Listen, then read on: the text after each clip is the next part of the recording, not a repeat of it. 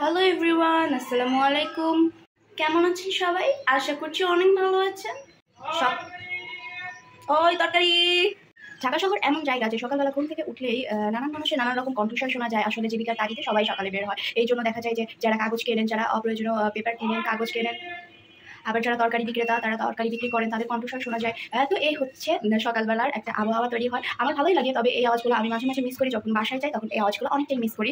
তো তো যখন তারা তরকারি বিক্রি করেন, এভাবে জোরে জোরে শব্দ করে তরকারি বিক্রি করেন, তখন আমিও তাদের সাথে কণ্ঠ মিলাই। আমার খুবই ভালো লাগে। এটা তো হচ্ছে তরকারিওয়ালা। তবে যখন মুরগিওয়ালা, হাঁসওয়ালা আসে, কণ্ঠ জোরে জোরে, উঁচা করে করে কথা বলে, তখন আমার বেশ মজা লাগে যে এদের কণ্ঠস্বর এত জোরে হয় যে, আর দশটা, বারোটা বিল্ডিংয়ে সবাই শুনতে পারে। এদের কণ্ঠ হয়তো মাইক্রো ফেল আমার মজাই লাগে। এদের সাথে সাথে আমিও জোরে জোরে বলি, এই তরকারি, এই মুরগি, এই হাঁস, এই হেন, এই তেন। আমার খুবই ভালো লাগে বলতে।